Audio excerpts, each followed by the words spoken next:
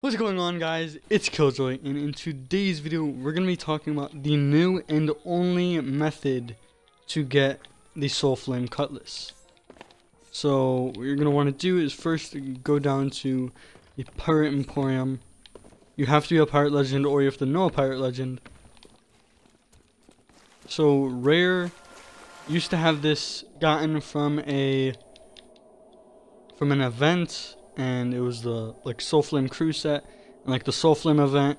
You have to do a bunch of quests just to get it, and they still wanted it to be accessible to all the players, so they added it into the game, and you're able to get it whenever you want. So you go all the way to the Pirate Legend Athena area, and go to the Pirate Legend item shop, which is in this corner right here.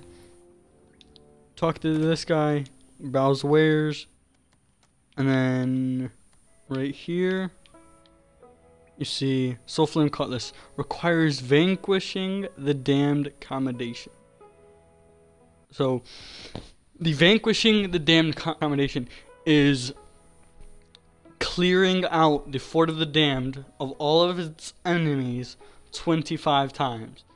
And you don't have to do this like all in one day and it's like it's basically just you just keep going until you get it. So that's like the only uh, the only thing you need to do. And you see, once you do it, you'll actually get all of the the, the whole crew crew set, the whole Soulflame crew set. So I haven't done it, but the reason I why I have it is because I did the challenges when it was an event. But right now you're able to do 25. If you can clear 25 Fort of the Dams, then the Soulflame Cutlass is yours, and along with the Soulflame Crew set.